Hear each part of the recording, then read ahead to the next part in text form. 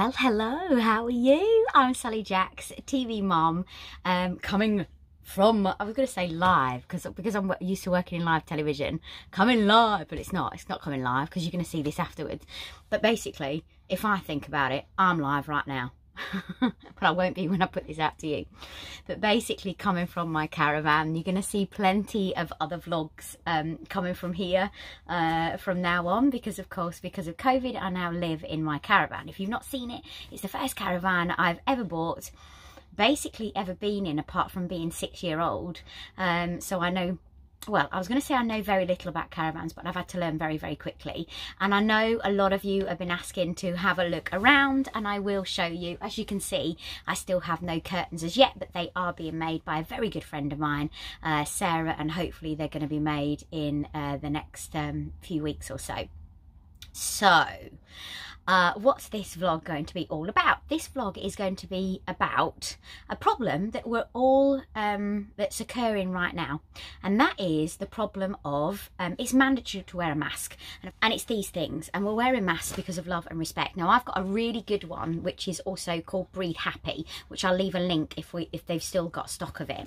But of course, we've got these everyday throwaway ones. We've also got material ones. I got this really cool one that's a bit glittery, but I can hardly breathe in it.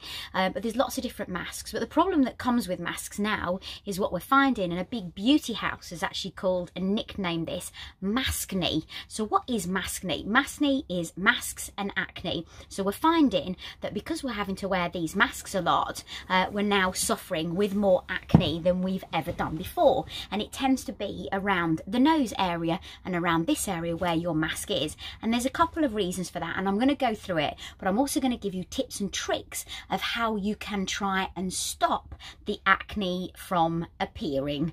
Uh, now, obviously, not everything's going to get rid of everything because everybody's unique and individual, but there's a few tips that you can follow.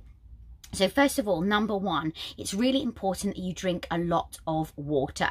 Now, I've done a whole vlog on this anyway, without masks, knowing how great water is. Also, if you're suffering with any mental health problems at the moment, I'm not saying it's going to cure them, but water, drinking plenty of water, making sure you get your two to three water, uh, litres a day can actually make a difference on your mental health. So it's really important that you drink your water and that also clears your skin. So not your Coke, not not your coffees, not your teas, it's your water, so pure water, and that's what you need to do. Everybody's got bacteria in their mouth. So of course, when you're breathing into that mask, it's hitting back on your skin. So it's really, really important that your skin is always clean. So if you're in a job where you're having, like my job, my mask is on and off all day. But if you're in a job, but I've noticed that I have got breakouts on my skin.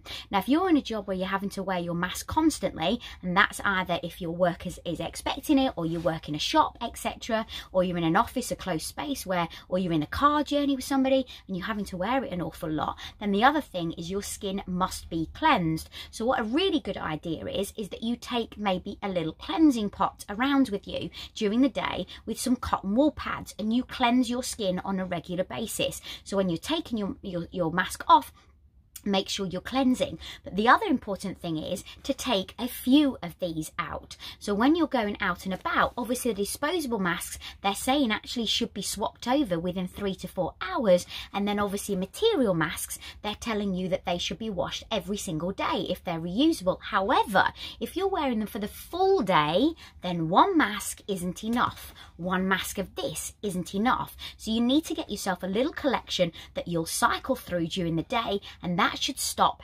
stop or put a maybe slow down on that acne or that maskne that might be occurring with your skin. Now, because of the bacteria from your breath, because of the droplets from your nose, and that's the way, that's why we're wearing them, they are eventually getting breathed back in onto our skin. So what's a really good idea is that you drink water, you change your mask frequently, you wash, wash your mask. If you're wearing it for a couple of hours a day, it is imperative that you wash that every single day. Even if you just put it on for five minutes, you still need to wash your mask every day.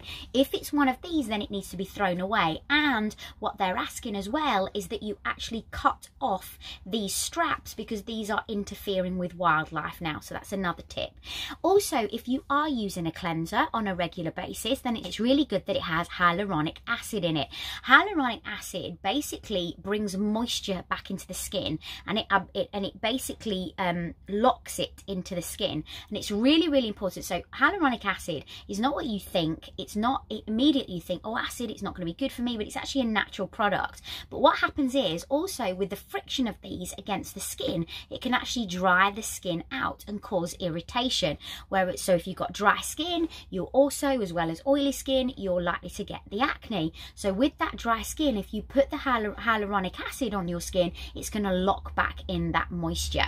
The other tip as well is to make sure, and this is very, very difficult for women, is to try and keep makeup free. The more makeup you put on your put on your skin, the more blockage that you're causing. And then of course, if you've got the mask on and you're sweating, the more problematic area that you're going to have around here. So it's better to keep you basically makeup free. So makeup free, make sure you're cleansing, make sure you're drinking plenty of water.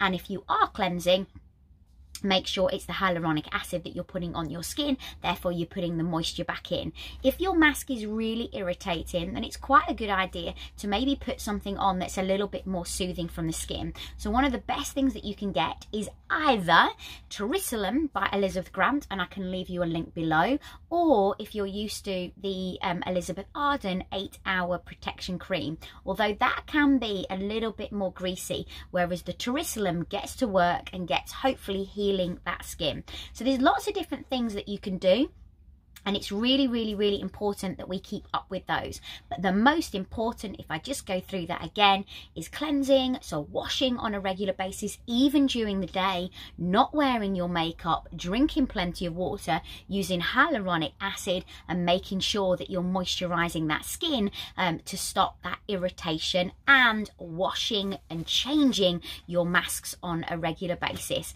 I'm hoping that's going to help you because maskne is becoming a problem um, dermatologists have seen more problematic skin over the last sort of uh, three to four months with acne than they have done in a long time. So it is rising. So it's really important that we keep on top of it. You keep on top of all those tips and tricks and it could really help your skin going forward because if you are wearing them on a regular basis, then mm, unfortunately, for a majority of us, we are going to start getting problems. So I hope that's helped. Thank you very much for watching. It's always great to have you on board. Don't forget to hit that subscribe button and give us a thumbs up. Love you lots as always, and I'll see you later. Bye.